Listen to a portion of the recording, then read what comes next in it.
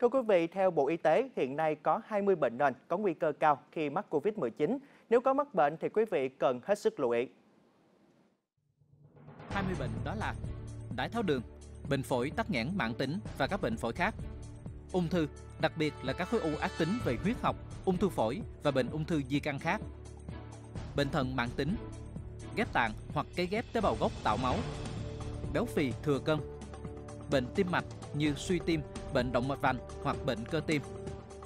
Bệnh lý mạch máu não, hội chứng đau, HIVS, bệnh lý thần kinh bao gồm cả chứng sa sút trí tuệ, bệnh hồng cầu hình liềm, bệnh thalassemia, bệnh huyết học mãn tính khác, hen phế quản, tăng huyết áp, thiếu hụt miễn dịch, bệnh gan, rối loạn do sử dụng chất gây nghiện, đang điều trị bằng thuốc corticosteroid hoặc các thuốc ức chế miễn dịch khác.